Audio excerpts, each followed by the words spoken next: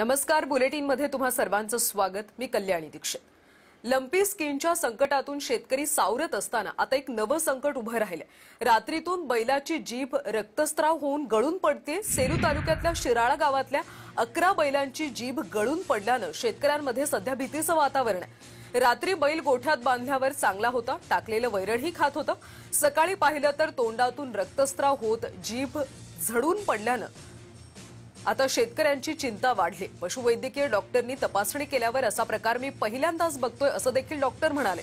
जिभेचे sample चाचणीसाठी पाठवण्यात आले त्याचा रिपोर्ट सध्या प्रलंबित आहे. हा प्रकार केवळ बैलांमध्ये होतो गायी म्हशी यापासून सुरक्षित असल्याचं लक्षात आलं. या विचित्र प्रकारामुळे